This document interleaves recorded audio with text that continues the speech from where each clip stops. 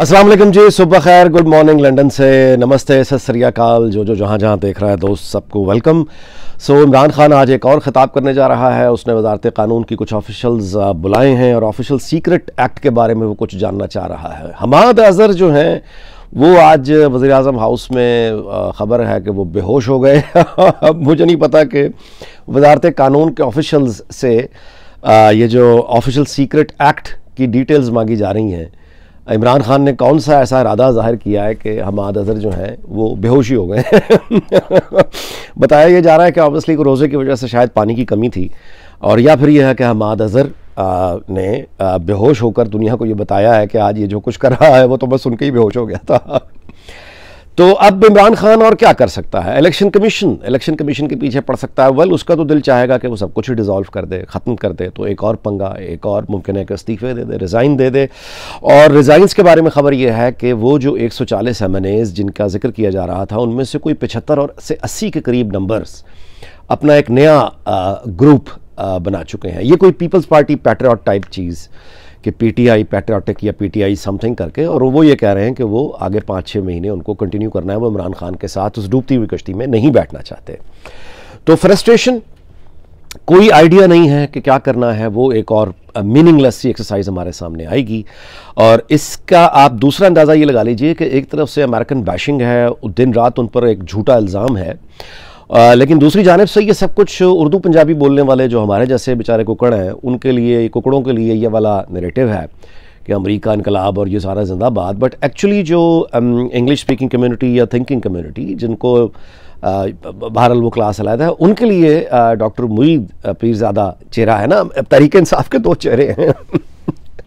तो वो जो मुईद पीरजादा साहब हैं उनका एक आज का आर्टिकल है जिसमें उन्होंने अमेरिका की शान और अजमत के बारे में बहुत सारी बातें बताई हैं और उसमें सबसे इंटरेस्टिंग बात जो है वो ये है कि उन्होंने ये कंक्लूड किया है, वो बाकायदा, यानी वो एक वो लिखा ही बेसिकली ब्रिटिश शाही कमीशन या अमेरिकन एम्बेसी के लिए है वेस्टर्न एम्बेसीज के लिए डिप्लोमेट्स के लिए वो लिखा हुआ मजमून है, बाकायदा आपको और उस मजमून का जो कंक्लूजन उन्होंने ड्रॉ किया, अमेरिका की अजमतें और उसके बाद उन्होंने कुछ मिसअंडरस्टैंडिंग्स के बारे में कुछ अपनी रोशनी डाली है डॉक्टर साहब ने। और उसका जो उन्होंने कंक्लूजन ड्रॉ किया जी, वो ये किया है कि अमेरिका को समझना चाहिए कि इमरान खान ही तो है अमेरिका का बंदा। यानी इमरान खान ही तो है दरअसल। जो पढ़े लिखे पाकिस्तानियों की आवाज़ है, और वो बिल्कुल एंटी वेस्ट नहीं है, वो बिल्कुल एंटी तालिबान नहीं है, वो बिल्कुल एंटी अमेरिका नहीं है। और अमेरिका को चाहिए कि वो इमरान खान में इन्वेस्ट करे, उसको देखे और अपने पीटीआई को भी चाहिए कि अपना ये जो रॉन्ग इमेज बन गया है इमरान खान का यानी एंटी वेस्ट या एंटी अमेरिकन का, इस तासर को ख़त्म करना पड़ेगा पीटीआई को और मतलब अमेरिका में जाके ये काम करने की ज़रूरत है और बड़ी ज़रूरत है वक्त की, ये नहीं, ये अब वो दूसरी तरफ़ से ये कि अमेरिका जो है वो अच्छा अब मुसीबत ये है कि हमारे यहाँ तारीख को इतना मस्क कर दिया गया है कि अब आप सच बोलें तो आप गद्दार हैं, आपका बेड़ा गर्क हो जाता है। तो मैं आपको कुछ पाकिस्तान और अमेरिका की जो रिलेशनशिप है ना, इसके बारे में मैं कुछ गुजारशात आपके सामने रखता हूँ। आप उसके बाद, यानी अब ये वीलॉग में तो मुमकिन नहीं कि मैं सारा ही मतलब है, सिर्फ़ कुछ मैं आपको इशारे दे सकता हूँ कि ये जो कॉम्प्लिकेशन है ना, पाकिस्तान और अमेरिका ताल्लुकात में इमरान खान जिसको बेच रहा है, इसकी जो रूट्स हैं वो बड़ी गहरी हैं। मैं आपसे गुजारिश करूँ कि दिल्ली में जो पहला यूनाइटेड इंडिया में जो पहला अमेरिकन यानी जो डिप्लोमेटिक प्रेजेंस है, ये आई है 1941 4041 1942 में जो एक अमेरिकन एडमिनिस्ट्रेशन का स्पेशल रिप्रेजेंटेटिव था था टू दी मतलब ऑब्वियसली ब्रिटिश रूल्ड इंडिया 42 में, उसका नाम था विलियम फिलिप्स और विलियम फिलिप्स जो है ये कायद अजम से मिला हुआ था और उस, उसने जो नोट्स लिखे हैं वो अभी तक अवेलेबल हैं। उसमें मिसाल के तौर पर कायद अजम से वो बड़ा इम्प्रेस था उनकी पर्सनालिटी से बड़ा इम्प्रेस था और वो बड़ा उनके इंटेलेक्ट से बड़ा इम्प्रेस था। और उसने वो नोटिंग की है लेकिन लेकिन वो जो आइडिया ऑफ़ पाकिस्तान था उस ज़माने में अमेरिकन जो है वो उसके साथ कंफर्टेबल नहीं थे। वो आ, मतलब है कि ये नहीं चाह रहे थे कि पाकिस्तान बने। उसकी वजह ये नहीं थी कि उन्हें पाकिस्तान से कोई दुश्मनी थी। उसकी वजह ये थी कि उनके जो पर्सपेक्टिव था सेपरेशन का मुल्क टूटने का यानी अलहदा होने का वो सिविल वॉर्स थी उनके पीछे जो उन्होंने लड़ी हुई थी। तो वो उनके हाफजे में वो तेरह स्टेट्स वो जो 1700 और ये जो इनका बनाया चार्टर यानी जो इनकी फाउंडिंग फादर्स ने जो पहला वो बनाया था 1776 शायद। वो तेरह स्टेट से तो जो सफ़र शुरू हुआ था उसके बाद फिर वो उतनी स्टेट्स अब फिफ्टी प्लस तो वो ये एकदम तो नहीं हो गया अब्राहम लिंकन के ज़माने के आप देखें सिविल वॉर कैसी। एनीवे anyway, तो वो उनके परस्पेक्टिव में वो था जिसकी वजह से वो ये कह रहे थे लिखे हुए नोट्स मौजूद हैं कि ये अगर पार्टीशन हुआ तो ये तो हंड्रेड्स ऑफ़ थाउजेंड्स ऑफ़ लोग जो हैं ये आ, मतलब मारे जाएँगे हिजरत में मारे जाएँगे बड़ी नाकाबले बयान तबाही होगी। तो इसलिए इसको एक ही रहने थे ये अमेरिकन मतलब है रीडिंग थी और इसको ख़त्म करने के लिए कायद अजम ने बहुत काम किया था। और वो जैसे मैंने बताया कि वो मीटिंग्स उनकी रिकॉर्ड पर हैं विलियम फिलिप्स के साथ ठीक है? उसके बाद आप आगे आए तो आ, एक उस उस मीटिंग में बल्कि मुझे याद आया उसमें एक नोट्स में लिखा उन्होंने कायद अजम से शिकवा किया। कि आप जो है अमेरिकन सपोर्ट मांग रहे हैं। कायद अजम एक्चुअली उनको इंगेज करना चाह रहे थे, पाकिस्तान के जो आईडीए के साथ हमदर्दी लेना चाह रहे थे अमेरिका की, उनको इंगेज करना चाह रहे थे। वो ये देख रहे थे कि हमारा शेयर्ड इंटरेस्ट क्या होगा। वो मतलब उस वक्त भी ये कह रहे थे कि हम पाकिस्तान के साथ अगर कोई ताल्लुकात बनाएँ भी तो हमारा शेयर्ड इंटरेस्ट उन्हें कोई समझ नहीं आ रहा था। तो कायद अजम फॉट फॉर इट और उसके बाद फिर एक गिला शिकवा उस वक्त का यानी विलियम फिलिप्स और कायद आज़म की एक मीटिंग के आ, में ये गिला शिकवा मौजूद है कि उन्होंने ये कहा कि एक तरफ़ से आप आ, मतलब है कि हमारी सपोर्ट मांग रहे हैं for the idea and creation of Pakistan. दूसरी तरफ़ से आपको जो अखबार है जिना सॉरी आपका जो अखबार है डॉन उसमें आप एंटी अमेरिकन सेंटीमेंट्स का इजहार करते हैं ओवर द पैलेस्टाइन इशू और पाकिस्तान। तो उस पर कायद आज़म ने हंस के जवाब दिया कि I have to sell the paper as well मैंने मतलब बेचना भी तो है ना अखबार।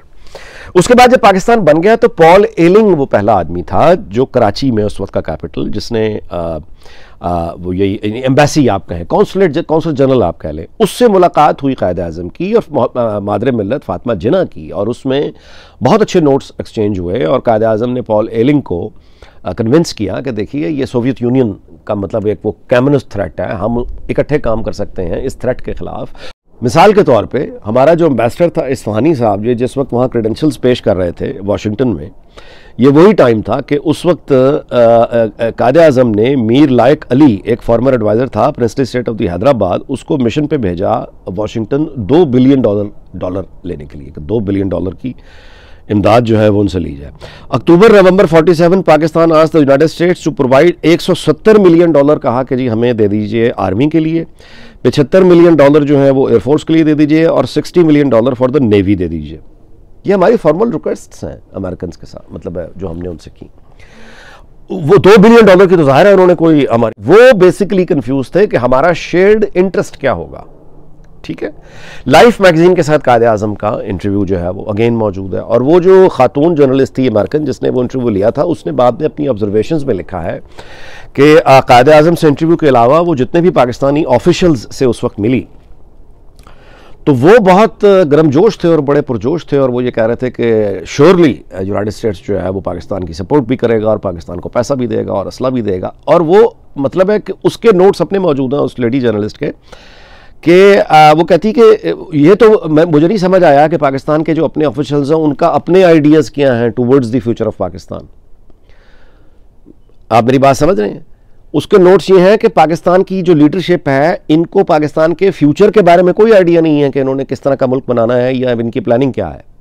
यानी ईस्ट और west Pakistan both combined together लेकिन ये इनको समहाउ इस बात का यकीन है कि अमेरिका इनके साथ खड़ा हो जाएगा, इनको पैसा भी देगा और इनको, इनकी हेल्प भी करेगा।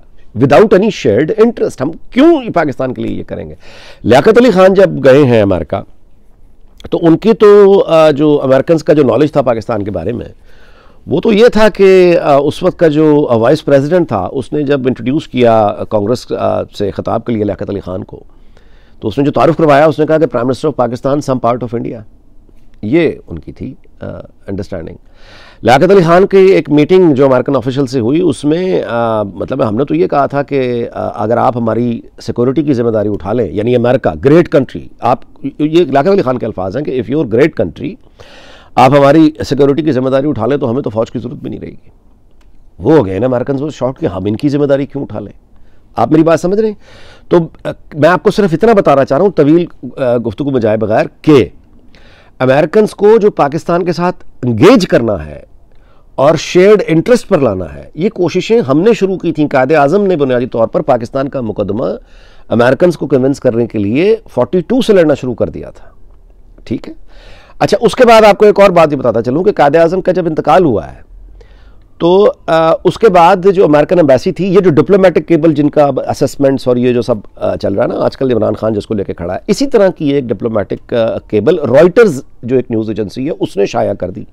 इसी तरह का जो खत आजकल रौला पड़ा हुआ और उस वो डिस्कशन ये थी कि कायद अज़म जो हैं चूँकि दुनिया से जा चुके हैं जो कि सबसे सिंगल माइटीएस्ट फॉर्म यानी ही वॉज़ दी अल्टीमेट मतलब personality for Pakistan to survive father of nation तो रॉयटर्स ने अमेरिकन इसी तरह वो एम्बेसी का वो जो एक होते हैं वो वो लीक कर दी केबल कोई असेसमेंट रिपोर्ट कि क्या पाकिस्तान बाकी रह सकेगा?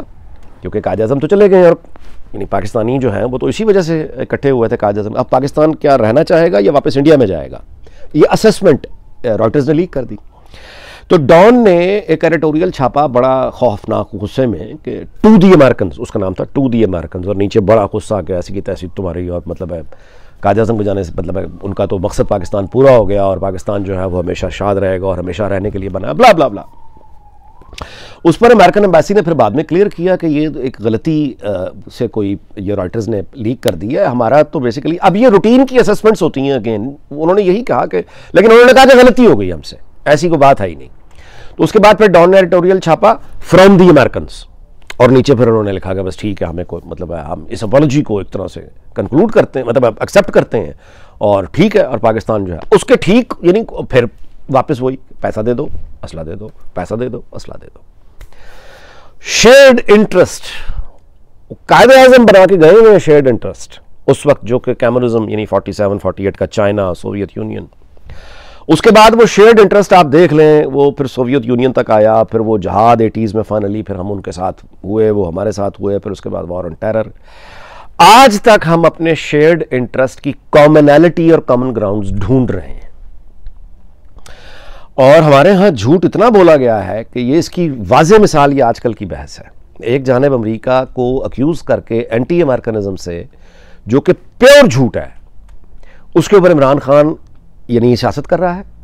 दूसरी तरफ़ से उसी इमरान खान का इंग्लिश मीडियम चेहरा डॉक्टर मुईद अपील कर रहा है अमेरिका से कि आपका अगर कोई आदमी सही है तो वो तो है ही इमरान खान। आप कमाल करते हैं कि आप बाकियों की तरफ़ देख रहे हैं। आप अदर चक्को चक तको तो सही मौका दे दे हो।